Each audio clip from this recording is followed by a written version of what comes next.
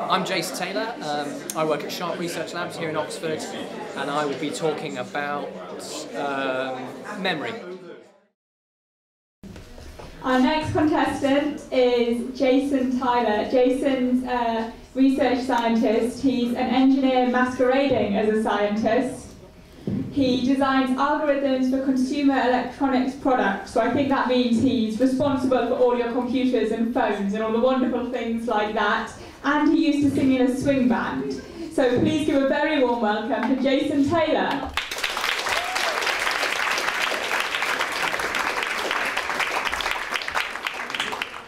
It might be a bit ambitious in three minutes, but you and I are going to do some science right now. We're going to do an experiment. I want you to remember the following five words. Don't write them down or confer or anything. Ready?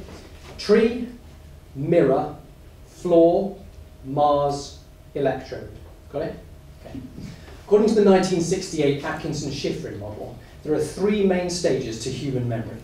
First is the sensory register, where stimuli like vision and hearing actually enter your mind in the first place. That's like the in tray on your desk.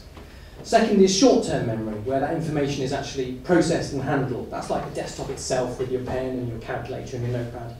And finally is your long-term memory. That's where that information is processed, Um, compressed, cross-referenced and filed away on the bookshelf or discarded into the bin. The problem is, each of those three stages can let you down. You might swear blind that you heard a gunshot when actually it was a car misfiring. You might walk from one room to the next and completely forget what you went in for, right? Or when you're remembering the halcyon memory of your first kiss, if you can remember it at all, you might then file it away again slightly differently, maybe forgetting that it was actually raining or that you were a rubbish kisser. Two weeks ago, the European Brain Prize was awarded to three British scientists, Tim Bliss, Graham Collingridge and Richard Morris, whose work for the first time observed the mechanism at work in creating long-term memories.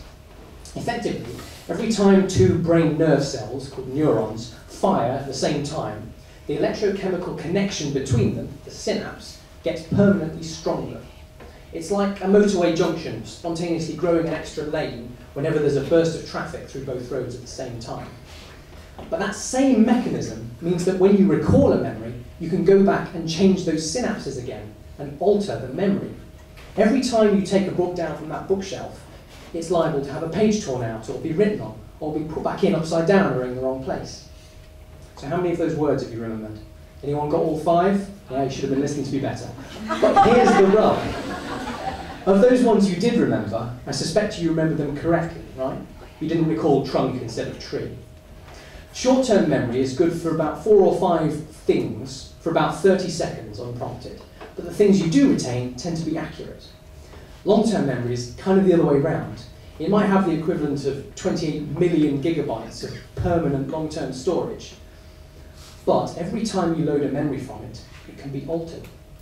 So, next time you're sitting an exam or riding a bike, or even competing in the science communication competition during Oxford Brain Awareness Week, just remember that, um, that it's a triumph that you're remembering anything correctly at all. Thank you.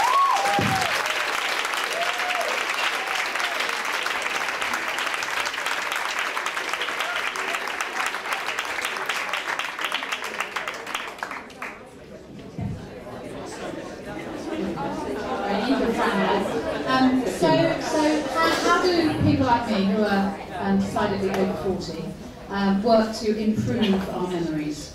I'm afraid it's kind of obvious answers. The, the obvious ones to get out of the way are exercise, healthy living, plenty of sleep, that kind of thing. And I'm afraid they're obvious for a reason because they do work. But perhaps slightly more subtle ones are things like repetition, practice. I mean, you know, we're all told at school don't cram before the exam. Short term, as we now know, is rubbish, by the way. But it really is repetition. It's accessing those memories over and over again that builds those long-term um, synapse strengths. It's called long-term potentiation, and it is a permanent effect. So accessing all of those memories over and over again is what really builds the strength of those memories and they'll last a long time, along, unless of course there are medical reasons. Okay, what, what kind of potential does this have for people who suffer from things like Alzheimer's or dementia? Great potential is the answer. Um, the, the most recent research tends to suggest that the reason Alzheimer's sufferers lose memories is they, they're not actually losing the memories themselves. What they're losing is they're, they're forgetting how to remember them. It's like having a garden shed in the corner of your garden, but never going to. Eventually, the path's going to grow over, and you're never going to find it again. But it is still there. So the trick, as a result of that research, seems to be well, maybe it's about rebuilding those paths or building new ones. There's um, electric therapy, where very low levels of, of uh, electric current to pass through specific parts of the brain, and this has been carried out, I think, I think in humans most recently, but certainly in mice, which tend to be a good model for this kind of process that shows that uh, both creation and recollection of memories, because those are the two key things where it can fail. You can either fail to write the memory properly and then fail to read it again later. But both of those processes are massively improved when this low-level um, electrical current is passed through your brain. The one downside, the one, one patient reported though was that um, it gave him a bit of a headache a bit of a scratchy head afterwards. But in return for treating long-term memory loss, it's got to be a great change. And uh, we talk about people having good and some people having good memories, some people having bad memories. Is there scientific evidence to show that that is actually true, or can we all train to become as good as the next best person with the best memory? The answer is it seems to be a bit of both. So there are lots of ways that you can train your memory to be better, and anybody can do them. The individuality comes into it when um, you find that specific uh, mechanisms and approaches work better for other people. And the exact scientific basis for that is, is kind of a little bit shaky and a bit complicated and fairly new.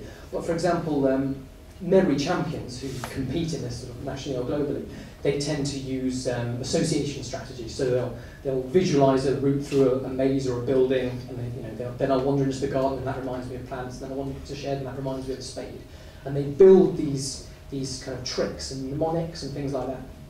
So there is, there is uh, you know, a collection of things that everyone can do to improve your memory, but some will work better for others than other people. Thank you.